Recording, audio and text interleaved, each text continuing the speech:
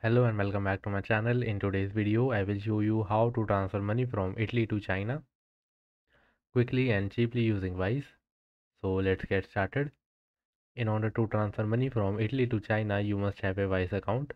If you don't have one, you can easily create one for free. In order to send money, you have to enter the amount that you want to transfer. Then you have to change the currency of recipient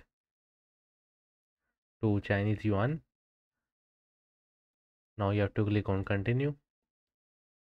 Now it will ask you about the country about the details about yourself like your country of residence full legal name date of birth and phone number.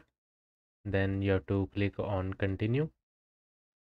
Now it will ask you about the recipient details. Then you have to review the payment. And at last you will be able to pay the amount. So yeah that's it for today's video. If you like this video please don't forget to subscribe to our channel. Thank you